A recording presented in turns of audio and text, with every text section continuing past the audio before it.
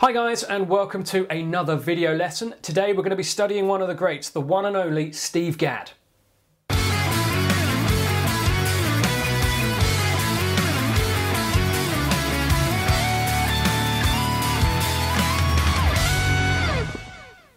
I think it's fair to say that Steve Gadd has achieved drumming royalty status. I don't know of any drummers that would disagree with that comment. He's just got everything. Deftness of touch, speed around the drum kit, control, groove, feel, pocket, coordination, independence, you name it, he's got it. He is one of the all-time greats. I haven't got time to go into everybody that Steve Gadd's played with, but definitely Google search him, YouTube him. He's played with a huge variety of artists and performers. I like the stuff he's done with the band Stuff. I think that's his own band. He's also played with Eric Clapton, Paul Simon, Steely Dan, just to name some of the biggies.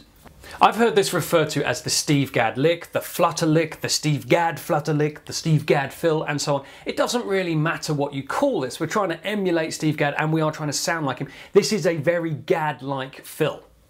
It's got a whole bunch of stuff going on. It's got some linear stuff, it's got some ghost notes, it's got compound sticking patterns, it's got a whole mess of stuff all thrown in together. It's technically a groove variation, I suppose you would call it, but you could be forgiven for calling it a fill, as there's an awful lot going on and it's very complex. Right, so let's get into it. Let's look at the main idea. It's comprised of 16th notes for the most part, and it's three beats long. The pattern is foot, left, left, right, right, left, left, foot, right. It's an awful lot of lefts and rights and feet. Lefties, swap that round. And the way we're going to play this, we're going to be in groove position, as I call it. So we're going to play the foot, left, left on the snare, right, right on the hi-hat, left, left on the snare, foot again, and then right hand's going to come down on the snare. We're going to play this at 70 beats per minute round and round. Now this is a tricky lick, so if you need to pause the video here and work on this at slower tempos, that's absolutely fine. Here it comes at 70 beats per minute.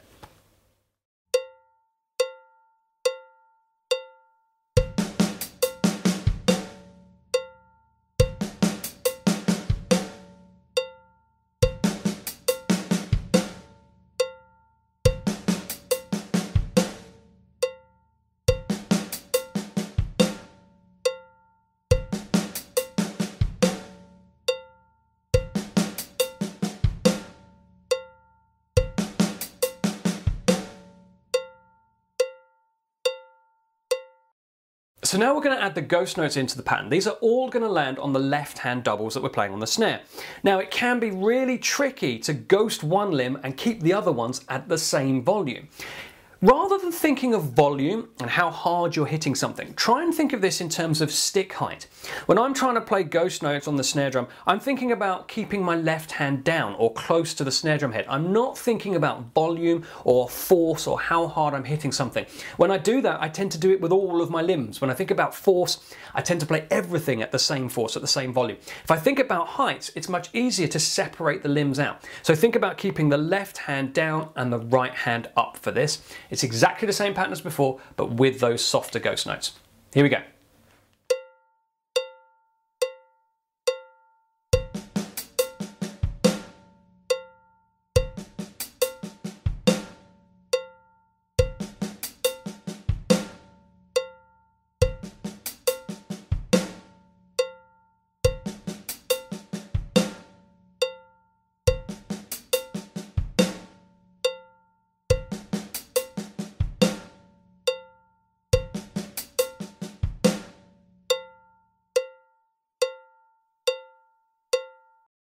Okay, so now we're going to finish the bar off. We're going to add some more 16th notes. Starting on beat three, we've come down with our right hand onto the snare drum. We've then got double left, two ghosted lefts. Then we've got double right on the hi-hat, double left again, both ghosted, ending with the foot. I'll play just this last half of the bar for you. I'll rest beats one and two and just play the second half round and round at 70 beats per minute. Here we go.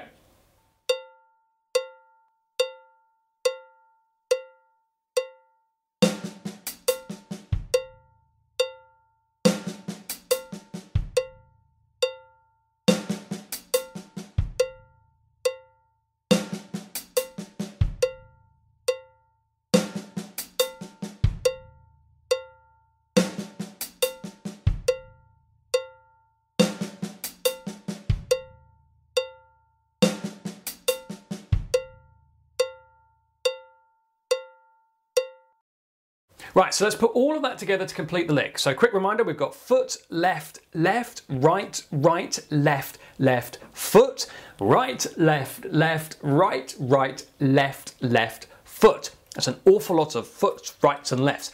So let's put it all together at 70 beats per minute and see what we're dealing with.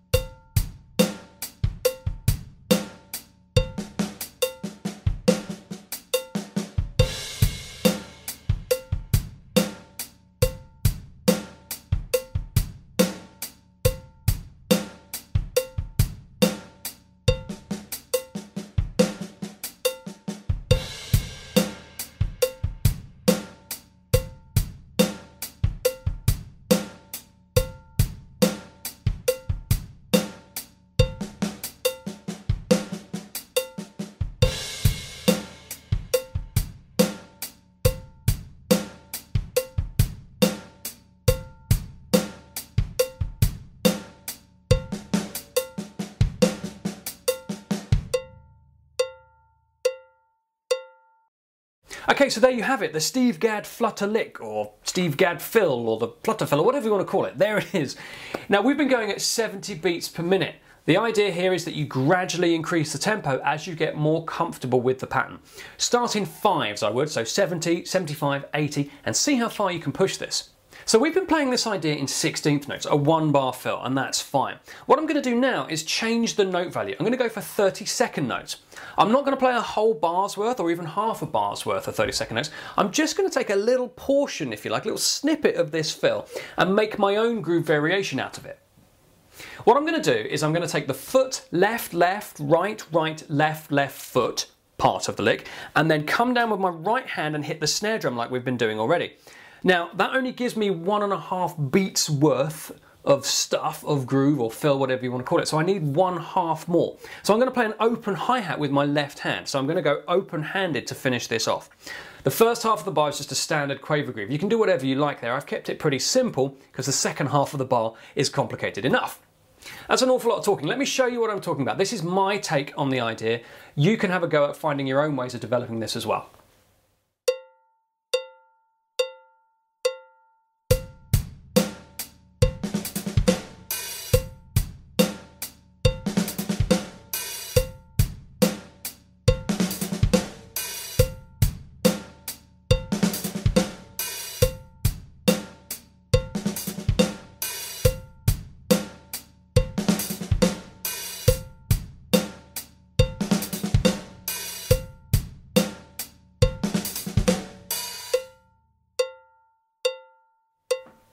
So there you go, a little insight into the legend that is Steve Gadd. As I've said, go and check this guy out. You will not regret it.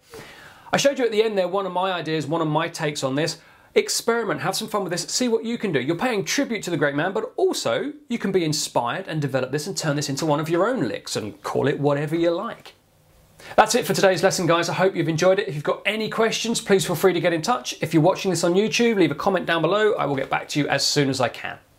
Take care, stay safe, and enjoy your drumming, guys.